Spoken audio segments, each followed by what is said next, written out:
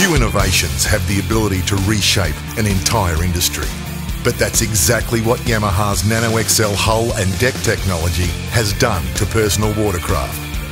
Yamaha engineers use nanoclay and glass microbubble materials that are stronger and smaller than the competition's filler system. The result is a hull that is incredibly durable and exceptionally light. There is no match for its nimble ride, fuel efficient performance, and impressive power to weight ratio. Yamaha continues to raise the bar on competition hulls in the pursuit of the next level in nano engineered design.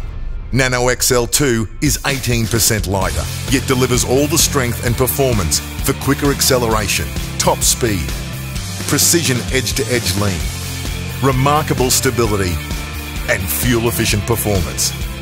NanoXcel engineered hulls and decks are available exclusively on Yamaha WaveRunners.